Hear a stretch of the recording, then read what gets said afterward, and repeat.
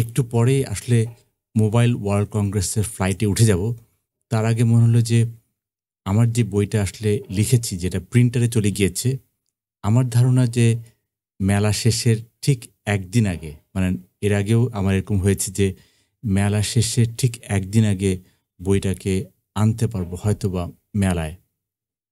আর এবার এই বইটা আসছে তাম্রলিপির কাভারে তো এই বইটা আসলে প্রায় দু বছর ধরে লিখছিলাম। তো সবচেয়ে বড় ব্যাপার হচ্ছে যে আমার বইগুলোতে আসলে প্রচুর সময় দেয় হচ্ছে গিয়ে পোস্ট প্রসেসিংয়ে কারণ বইগুলোর যে আউটকাম আমরা যেহেতু আজকে এই বইটা হচ্ছে গিয়ে ডেটা অ্যানালিটিক্স এবং ডেটা ভিজুয়ালাইজেশন সো আমি সেই দুই হাজার ষোলো সালে যেই ধারণাটা পেয়েছিলাম যে দুই হাজার ষোলো সালে যদি আমি এই বইটা পেতাম, হয়তোবা আমার লাইফটাই পাল্টে যেত।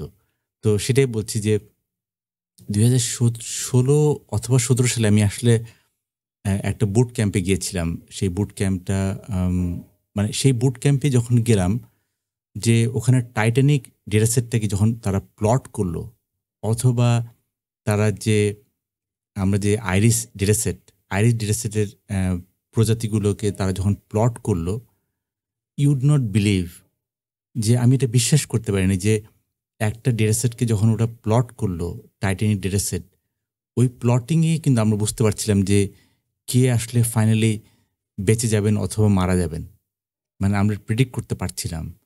অথবা আমরা যখন আইরিস প্রজাতির ফুলগুলোকে যখন আমরা প্লট করছিলাম প্লট করে দেখলাম যে আসলে এই মাপ হলে এই প্রজাতি হবে, ওই মাপ হলে ওই প্রজাতি হবে। কিন্তু সেটা যখন আমরা ভিজুয়ালি আমরা যখন ভিজুয়ালি দেখতে পাচ্ছিলাম, তখন ইট ওয়াজ মাইন্ড ব্লোয়িং আর সেজন্যই এই বইটা আসলে আমার লেখা, এটা একটা খুব বেসিক লেভেলের বই। এখানে আমি পাওয়ার বিআই ট্যাবলু ব্যবহার করেছি। তবে আমি দু হাজার ষোলো সালে যেরকম একটা বই পেলে আমার জন্য লাইফটা ইজি হতো, আমি সেই ধরনের বইটাই এখানে লেখার চেষ্টা করেছি যে এটা অ্যাডভান্স লেভেলের বই না। অনেকে এটাকে ভাববেন যে বিরক্তিকর মনে হতে পারে, কারণ আমি এখানে প্রচুর গল্প দিয়েছি।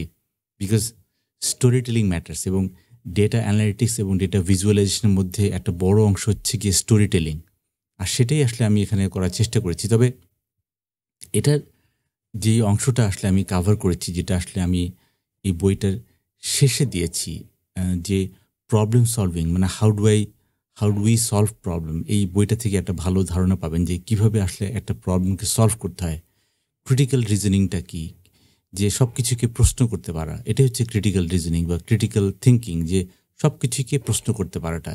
ক্রিটিক্যাল রিজনিং তারপর হচ্ছে গিয়ে data storytelling data data story টেলিংটা আসলে কীভাবে আসবে? এরপরে এক্সপ্লোরেটরি ডেটা অ্যানালিটিক্স যেটাকে আমরা ইডিএ e বলি। This is the beauty of data exploration মানে আমরা ডেটাকে এক্সপ্লোর করতে করতে এর ভিতর থেকে আমরা আন্ডারস্ট্যান্ডিংটা নেব। তারপর হচ্ছে গিয়ে ডেটা ভিজুয়ালেশন অফকোর্স কত ধরনের ডেটা ভিজুয়ালেশন ভিজুয়ালেশন আছে পৃথিবীতে, কোনগুলো সবচেয়ে বেশি ব্যবহার করা হয় এবং কোনগুলোর প্রযোজ্যতা কোথায়, সেটাও আসলে এখানে আসছে। আর সবচেয়ে বড় ব্যাপার হচ্ছে যে এখানে আমি ট্যাবলু এবং মাইক্রোসফট পাওয়ার বিআইকে ব্যবহার করেছি এই ডেটাগুলোকে দেখানোর জন্য।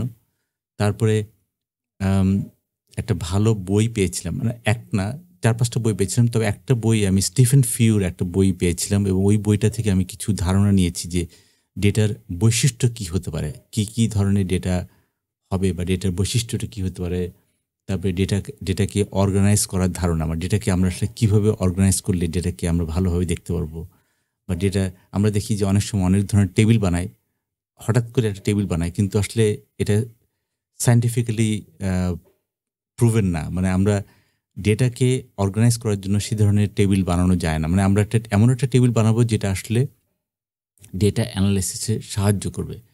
এর পাশাপাশি ডেটাকে অর্গানাইজ করার ধারণা, তারপরে ডেটার গ্র্যানুলারিটি এবং ডিস্ট্রিবিউশন মানে ডেটার গ্র্যানুলারিটি কোথায় ডেটাকে কীভাবে ডিস্ট্রিবিউট করে দেখা যায়। ডিস্ট্রিবিউটের সময় আমরা দেখি যে বক্স প্লটটা কীভাবে হবে, বা এই যে এই যে একটা বক্স প্লট অসাধারণ একটা জিনিস। এই বক্স প্লটটা আমরা আসলে দেখতে চাই যে আসলে কীভাবে এটা কাজ করে বা এর পাশাপাশি বিভিন্ন গ্রাফ গ্রাফগুলো কীভাবে কাজ করে। তারপরে এসকিউএল বা সিকিউএল, আমরা যেটা বলি কারণ স্ট্রাকচার কোয়ারি ল্যাঙ্গুয়েজ নিয়ে আমি কিছুটা ধারণা দিয়েছি গুগল বিগ কোয়ারি দিয়ে। আমি এটা নিয়ে গল্প দিইনি বাট আমি যে চেয়েছি যে গুগল বিগ কোয়ারি দিয়ে আপনি ছোটোখাটো সিকুয়েল কমান্ড চালাতে পারেন কি না উইচ ইজ অনলাইনে অনলাইনে পাওয়া যায়। আপনাকে কোনো কিছু ইনস্টল করতে হবে না। গুগল বিগ কোয়ারি বিগ কোয়ারির যে স্যান্ড বক্সিং দিয়েই কিন্তু আপনি অনেক কিছু করতে পারবেন। তারপরে ডেটা অ্যানালিটিক্সের জন্য বা ডেটা ম্যানেজমেন্টের জন্য ডেটা ভিজুয়ালেশন জন্য প্রচুর ওপেন সোর্স টুল আছে, যেগুলো আমি সবসময় ব্যবহার করি। লার্জ স্কেল প্রজেক্টে আমি ব্যবহার করি। কিবানা থেকে শুরু করে অনেক কিছুই আছে, যেগুলো আসলে গ্রাফানা কিবানা তারপর হচ্ছে কি মাইম। মানে এখন হচ্ছে কি নাইম নাইম। সো এই এই, এগুলো কিন্তু সবসময় চলছে র্যাপিড মাইন্ডার মানে এরকম অনেক কিছুই আছে যেগুলো আসলে আমরা ব্যবহার করি। এর পাশাপাশি গ্লোবাল সার্টিফিকেশন গুগলের এবং মাইক্রোসফটের গ্লোবাল সার্টিফিকেশনগুলো কী, সেটা নিয়ে কিছু আলাপ করেছি। আর ফাইনালি ডেটা সায়েন্স এবং ডেটা অ্যানালিটিক্স রোড ম্যাপ সবাই যেটা চায়, এই রোড ম্যাপটাও আমি এখানে এটা কাভার করেছি। এই বইটা আমি মনে করি যে সবার, এই বইটা আমার অনলাইন অনলাইন এডিশনটা পড়েই কেনা উচিত। কারণ আমি প্রচুর বই, আমি সবগুলো বই কিন্তু অনলাইনে রাখি এমআইটি যে অ্যাট্রিবিউট যেটাকে বলি বলি যে এমআইটি লাইসেন্স হিসাবে যে আপনি আমার বইটা পড়ে ভালো লাগলে তারপর বইটা কিনুন। মানে যেহেতু বই এক একটা বই আমরা লিখি প্রচুর সময় দিয়ে, দু বছর, তিন বছর বাট আমরা কোনো রিটার্নের জন্য বইটা লিখি না। আমরা লিখি যে, যাতে নলেজটা সবার কাছে চলে যাক। আর একটা ব্যাপার হচ্ছে যে, বইয়ের একটা বড় অংশ হচ্ছে গিয়ে হাতে ধরিয়ে দেওয়া। মানে হাতে ধরিয়ে ডেটা অ্যানালিটিক্সটা একটা লেভেলে নিয়ে আসা।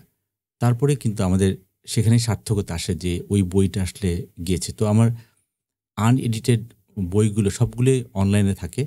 এবং সেটার লিঙ্ক আপনারা জানেন যে আমার আনএডিটেড সবগুলো বই অনলাইনে আছে। হয়তোবা আমি যে আনএডিটেড বইটা যখন অনলাইনে থাকে, সেটা পাবলিশার সেটাকে ওনারা ওনার মতো কম্পাইল করেন। তারপরে পাবলিশার আমার ঘাড়ে ধরে ঘাড়ে ধরে বা পাবলিশার বলেন যে, এই এই চ্যাপ্টারটা আর একটু বড় করেন, এই চ্যাপ্টারটাকে আর একটু ঠিক করেন বা এই চ্যাপ্টারটা প্রয়োজন আছে কি না সেখান থেকে সিক্সটি ফাইভ পার্সেন্ট আমি দেখি যে সিক্সটি ফাইভ পার্সেন্ট বইয়ের অনলাইন কন্টেন্টের পরেও আরও থার্টি ফাইভ পার্সেন্টের মতো আমাকে আলাদাভাবে লিখতে হয়।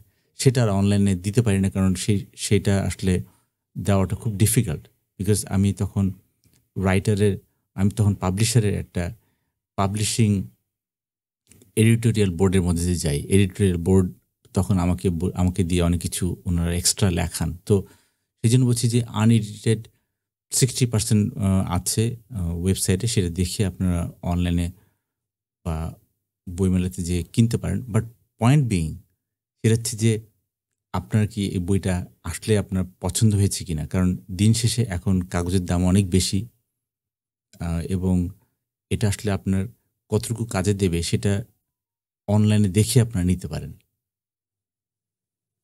আর এর পাশাপাশি আমি বার্সেলোনাতে যাওয়ার পরে এটা নিয়ে আমি কনস্ট্যান্ট কিছু ফিডব্যাক দেওয়ার আশা করছি। আজকে এ পর্যন্তই। থাকছেন তো সামনে।